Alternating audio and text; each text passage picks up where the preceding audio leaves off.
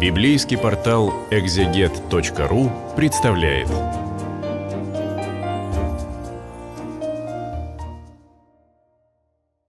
Здравствуйте! Мы с вами на библейском портале Экзегет. Меня зовут Дмитрий Георгиевич Добыкин, и мы с вами читаем третью книгу Маковеев. Сегодня пятая глава. Раньше эта книга рассказывает о том, что царь э, Египта не смог войти в Иерусалимский храм, его остановил Бог. Вместо того, чтобы подчиниться Богу, царь пришел в гнев, э, решил отомстить евреям, раз он не может отомстить Богу, и решил э, собрать всех евреев, которые жили в Египте, в одном месте на ипподроме э, и их уничтожить. И вот евреев свозят на этот ипподром, они сидят на этом стадионе, и вот царь дает указания о том, как должна проходить казнь. И об этом как раз пятая глава. Давайте ее читать. Тогда царь, исполненный сильного гнева и неизменным в, своем, в своей ненависти призвал Ермона, э, заведующего слонами, и приказал на следующий день всех слонов числом 500 накормить ладаном, возможно, в больших приемах и вдоволь напоить цельным вином. И когда они рассверепеют от данного им в изобилии питья, вывести их на иудеев, обреченного встретить смерть. Значит, что здесь интересно? Здесь слоны. Действительно, слоны использовались как э, боевое животное. Но вот э, число 500, которое здесь названо, оно не зафиксировано в других документах. Упомянуты, что были в войсках слоны, но где-то их около сотни было. А вот, но откуда взялось число 500? Вот что интересно, если взять индийскую литературу, вот там как раз и используется вот это число 500 э, у каких-то великих индийских царей а, вот было 500 слонов. Значит, но а, для того, чтобы эти слоны приходили там в неистовство, их действительно поили вином, здесь оно названо цельное, это не разбавленное водой, и а, в это вино добавляли ладан, который почему-то на них действовал как, не знаю, как наркотик, и они приходили в такое бешенство. Ну, читаем дальше. Дав такое приказание, он, то есть царь, отправился на пиршество, пригласил особенно тех своих друзей и воинов, которые враждовали против иудеев, а Эрмон, начальствующий над слонами, в точности исполнил его повеление. Назначенные при этом служители пошли вечером вязать руки несчастным и другим, и другие принимали против них предосторожность, думая, чтобы через через ночь весь народ подверж, э, подвергнется конечной гибели. Ну, связывали, чтобы они не бегали от этих слонов. Иудеи же, казавшиеся язычникам, лишенные всякой защиты, ибо отовсюду стеснены они были тяжкими узами, призывали всемогущего Господа, властвующего над всякой властью своего милосердного Бога и Отца, призывая все, не, э, все непристающим воплем, со слезами умоляя отвратить от них нечестивый умысел, спасти их от приготовленной им смерти своим славным явлением. Давайте здесь э, разберемся. Вот эта идея, что Бог над каждой властью, эта идея повторяется потом в Новом Завете. Нет э, власти не от Бога, точнее, нет власти, которая не под Богом. Э, евреи называют Бога Отцом, Почему? Ну, кстати, мы тоже называем Бога Отцом. Почему мы называем? Ну, во-первых, для древних людей э, важно, важно была не, ну, как бы не мать, от которой ребенок родился. Это было понятно, что вот, вот он ребенок, вот мать. Все определили точно. А важен отец. От кого, от какого отца родился этот ребенок? Поэтому э, священное писание подчеркивает отцовство. Например, в родословной Иисуса Христа говорится, что Авраам родил Исаака. То есть Авраам был отцом Исаака. Подчеркивается, от кого родился Исаак. Вот, поэтому, когда Бог называется отцом, подчеркивается, что Бог это тот, кто родил, создал Божий народ. Второе значение, почему э, Бога называют отцом, мы, мы в Ветхом Завете. Тогда нет еще знания о Троице, потому что для древнего человека было две, два вида родительской любви. Родительская любовь матери, и она считалась естественным. То есть мать родила ребенка, она будет ребенка э, любить. Вспомним историю с Соломоном, когда к нему э, пришли две женщины и принесли ребенка. Там, рубить этого ребенка, и которая не мать сказала рубите, а мать сказала не рубите, лучше отдайте. Почему? Потому что она любила своего ребенка. Но это считалось вот естественным. А вот с отцом было сложнее. Отец мог любить ребенка, мог не любить ребенка. Но если отец полюбил ребенка, то это вот большая любовь, большая любовь, чем матери. И поэтому, когда евреи говорят, что э, Бог это отец, они подчеркивали вот ту особую, особо сильную любовь Бога к ним и они просили его явления. В данном случае не надо понимать как теофанию, то есть вот, разверзлись небеса, Бог явился, а Бог открыл себя в каком-то чуде. Прилежное моление взошло на небо, Ермон, напоив неукротимых слонов, после обильной дачи им вина и ладана, утром мился во дворец, донеся о всем царю. Э, готово все к к тому, чтобы выпустить этих слонов на связанных евреев. Идемте дальше. Но Бог послал царю крепкий сон, этот добрый дар от века не спосылаемый им и в ночи во, э, во дни всем, кому он хочет. Божьим устроением, погруженный в приятный глубокий сон, он забыл о своем беззаконном предприятии и совершенно манул своим непременным решением. Здесь очень такая интересная игра совершенно манулся своим непременным решением. Бог э, пытается остановить царя и самым мягким способом. Царь просто засыпает. Иудеи же, избавившись от предназначенного часа, восхваляли святого Бога своего и снова умоляя благоприменительного показать гордым язычникам силу всемогущей десницы своей. Царь спит, а без повеления царя никто этих слонов выпускать не будет. Когда прошла уже половина десятого часа, служитель, которому поручено было приглашение, видя, что приглашенные уже собрались, вошел к царю будить его. Значит, насчет э, десятого часа, это десятый час после восхода солнца, это где-то 4, 5, 6 часов э, вечера. То есть царь э, ночь пировал, дальше он собирался идти устроить вот это избиение евреев, но Бог ему послал сон, и он просто уснул и спал практически до следующего вечера.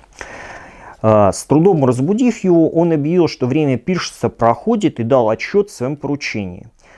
Поверив, э, поверив его и отправившись пить, царь приказал пришедший на пир э, возлечь прямо против него. Когда это было исполнено, он поощрял собравшихся на пиршество проводить настоящую часть пиршества полным весельем. Во время продолжительной беседы царь, призвав Ермона, строго и грозно спрашивал, по какой причине иудеи допущены пережить настоящий день. Тот объявил, что еще ночью исполнил поруч... порученным, и друзья царя подтвердили это. Тогда царь в жестокости лютой более же, нежели Фаларис, сказал, что они должны быть благодарны сегодняш... сегодняшнему сну. Здесь все понятно, царь пирует, потерял счет времени, спрашивает, что и почему. Ему объясняют, что царь, вообще ты слишком долго спал. Ну и когда ему это сообщают, а, он подобен Фаларису. Вот что это за Фаларис? Значит, в VI веке до Рождества Христова в, а, в одном сицилийском городе был э, тиран, ну, царь которого звали Фаларис или Фаларит. Этот царь отличался большой жестокостью. Насколько это правдиво, неизвестно, но про него рассказывали следующее. Он пригласил одного мастера, который ему сделал железного пустотелого быка. И вот в, этот, в этого пустотелого быка он вставлял, э, бросал людей, внизу разжигал огонь, э, огонь раскалял этого быка, и э, человек просто-напросто изжаривался внутри этого быка. Э, при этом там было сделаны такие трубки, из которых выходил горячий воздух, как будто там бык ревел что заглушало мучение человека. Вот, вот этот фаларис. Ну и про него там рассказывают еще другие другие страшные истории. И э, правда это или неправда, неизвестно. Но вот э, имя Фаларис или Фаларит э, вошло в, там, в язык как метафора особо жестокого человека. То есть не просто человек, который убивает, а который мучает своих жертв. Царь понимает, что дело уже к вечеру, э, что он не успеет устроить эту казнь. Э, он обращается к Ермону и говорит ему, а ты непременно на завтрашний день также приготовь слонов на истребление беззаконных иудеев. Когда царь, сказав это, все присутствующие с удовольствием и радостью изъявили ему свое одобрение и разосли каждый в свой дом. Время ночи употреблено было не столько на сон, сколько на изобретение всяких поруганий над ними преступниками. Сказано, что царь подобен Фаларису, но э, такие же жестокие люди и его подданные. Рано утром лишь только запел петух, Ермон вывел зверей и стал раздражать их на обширном дворе. В городе толпы народа собрались на плачевное зрелище, и терпение ожидая рассвета. Раздражать э, он их колол специальными палками, это известно, что использовались такие заостренные палки для того, чтобы животных разозлить. Кстати, по-латински вот эта палка с наконечником называется стимул. Вот. Ну и народ собирается посмотреть на это зрелище. Это всегда интересно. Гладиаторские бои или бои с животными привлекали огромное количество народа, которые там требовали зрелищ. Хорошо, что же в это время происходит с иудеями? Иудеи непрестанно, томясь духом, творили молитву с многими слезами и плачевными песнями и, простирая руки к небу, умоляли величайшего Бога опять послать им скорую помощь. Господь сохранил их на сутки, и они продолжают просить о помощи свыше. А, не распространились еще лучи солнца, и царь еще принимал своих друзей, как предстал перед ними Ермон, пред ним Ермон и, приглашая на выход, донося, что все готово, чего жал царь. Выслушав это, изумившись предложение необычного выхода, он совершенно о всем забыл и спрашивал, кто э, что это за дело, которое он с такой поспешностью исполнил. Было же это действие, властвующее над ним всем Бога, который навел на ум его забвение во всем, что он прежде придумал. А, молитва евреев исполнена, и видите, как они только помолились, сразу ответ. А, царь просто забыл у него вылетело из головы. Это, конечно, выглядит несколько комично. Ермон и его друзья объясняли, говорят, царь, звери войска приготовлены настоятельному повелению. Он же исполнен сильного гнева на Киречи, ибо промыслом Божьим разрушено было все его мышление, и, сверкая глазами, сказал с угрозою, «Если бы у тебя были родители или дети, то они послужили бы изобильной пищей для диких зверей вместо невинных иудеев, которые мне и предкам моим сохраняли неизменную совершенную верность. Если бы не привязанность моя к тебе по воспитанию и не по заслугам твоим, то вместо них был бы ты лишен жизни. То есть полное, э, полное безумие. Э, царь забыл, и вместо того, чтобы истреблять евреев, он, наоборот, их защищает и нападает на своего совоспитанника, вот эта э, привязанность моя к тебе по воспитанию, это значит, он совоспитанник, он нападает на своего совоспитанника и говорит о его гибели, а не гибели евреев.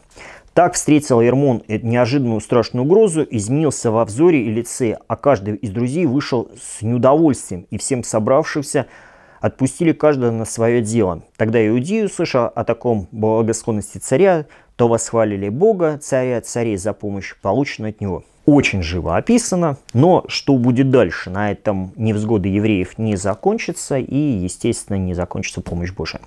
После таких решений царь опять учредил пиршество и, приглашая э, приглашал предаться веселью. Призав же Ермона грозно сказал, сколько раз я должен приказать тебе, негодный, одном, одном и том же. Вооружи опять слонов на утро для погибели иудеев.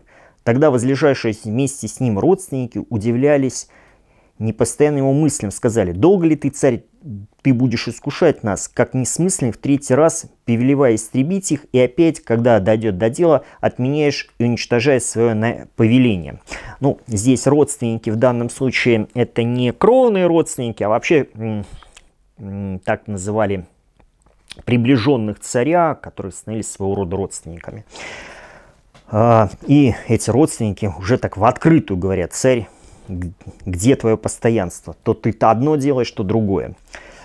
От этого и город от ожидания находится в тревоге, наполняется толпами народа и часто подвергается опасности разграбления. Слишком много собралось народу, и его уже невозможно сдерживать. После этого царь, совершенно как Фаларис, исполнивший безрассудство и почитая за ничто происходящее в нем душевные перемены в пользу иудеев, подтвердил нечестивейшую клятву и определил немедленно послать их в ад, изувеченных ногами и ступнями зверей, затем предпринять поход на Иудею, вскоре опустошить ее огнем и мечом, и наступный нам, говорил он, храм их сжечь огнем и сделать их навсегда, э, его навсегда пустым для всех желающих приносить там жертвы. Царь видит, что с ним происходит, но не делает никаких выводов. Если обратиться к первым главам этой книги, то там то же самое происходит.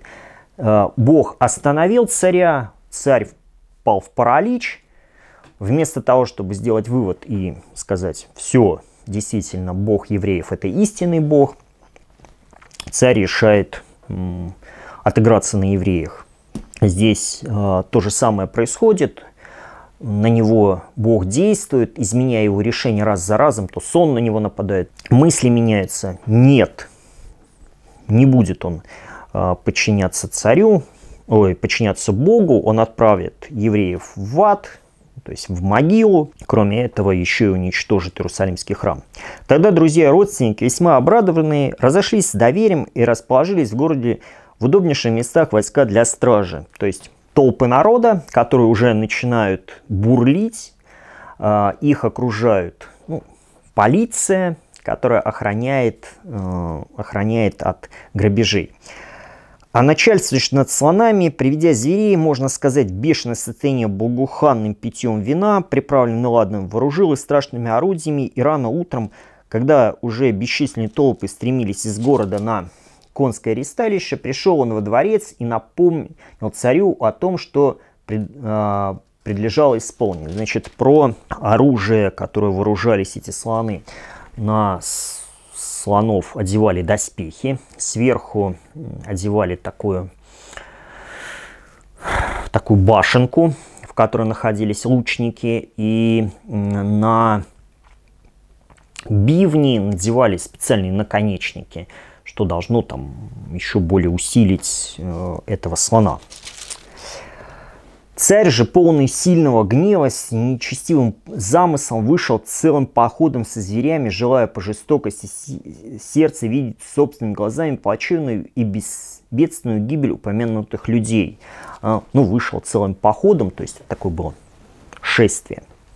Когда иудеи, увидев пыль, поднимавшуюся от слонов, выходившие из ворот и следующие за ним вооруженного войска, а также от множества народа, и услышали сильно раздавшиеся крики, то подумали, что настала последняя минута их жизни, конец их несчастнейшего ожидания. Подняв вопль и плач, они целовали друг друга, обнимались с родными, бросались на шеи, отцы сыновьям, а матери дочерям. Иные же держали при грудях новорожденных младенцев, сосавших последнее молоко. То есть согнали вообще всех евреев, то есть э, даже маленьких детей. То есть это это, конечно, геноцид, истребление еврейского народа. Зная, однако же, прежде бывшие им заступление с неба, они надушно пали ниц, отняв от грудей младенцев, и громко взывали к владычествующим над всякую властью, умоляя его помиловать их и видеть помощь им, стоящим уже при вратах ада. Ну, э, отняли от грудей младенцев, это такой образ, они поднимали э, этих детей, чтобы дети плакали, и тем самым э, разжалобить э, Господа. Есть один мидраж, рассказывающий, как детским плачем умолили Бога дать дождь. Долго в Израиле не было дождя. Ну и как, как упросить у Бога, чтобы дал дождь. Там, приносили жертвы, нет дождя. Молились, нет дождя. Там, постились, нет дождя. Тогда э, один из еврейских учителей сказал, надо собрать маленьких детей, вывести их за город и научить, что делать, чтобы дети поднимали ручки, плакали и кричали там, э, ну, Ава, Ава, ну, отец, отец, дай нам дождя. Ну и вот когда они его вывели, а когда вышли эти дети, они плакали, говорят, что, ну, что обратно они уже возвращались просто под дождем. Вот. Здесь то же самое. А, взывали Господу, и они стоят при вратах ада. А, почему молятся евреи о спасении? Вот здесь о, о том, чтобы были спасены их жизни. Почему они не молятся, чтобы Господь их там принял или дал вечную жизнь? Почему, почему молитва о э, спасении здесь на земле?